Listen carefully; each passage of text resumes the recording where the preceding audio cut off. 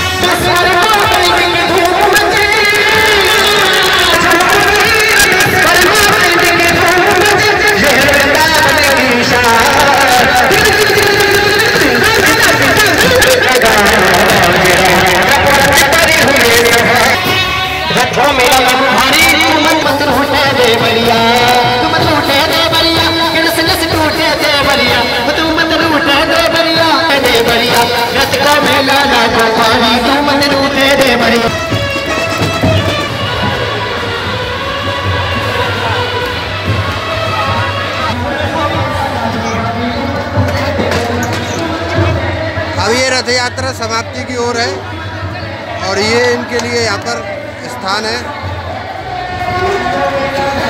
ये यहाँ सब पुजारी लोग आए हुए और ये रथ यहाँ पर खड़ा हो जाएगा।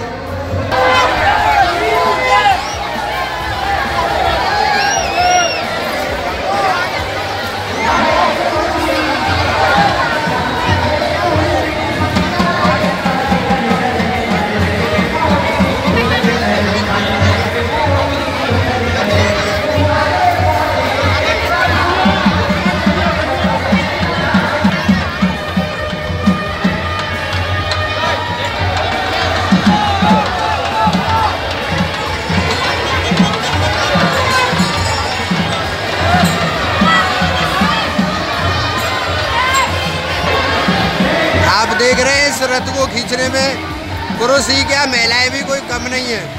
महिलाएँ भी अपना योगदान दे रही हैं इस रथ को खींचने में। और ये प्रतिवर्ष होने वाला उत्सव है, ब्रह्मोत्सव के तहत वृंदावन में इस समय ये रथ यात्रा चल रही है।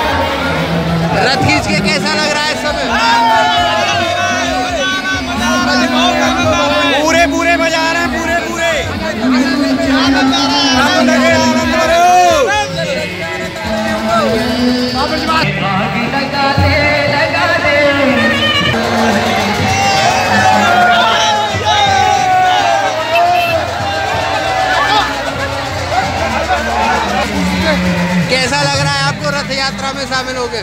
एकदम बढ़िया लग रहा है। कहाँ से आए हो आप?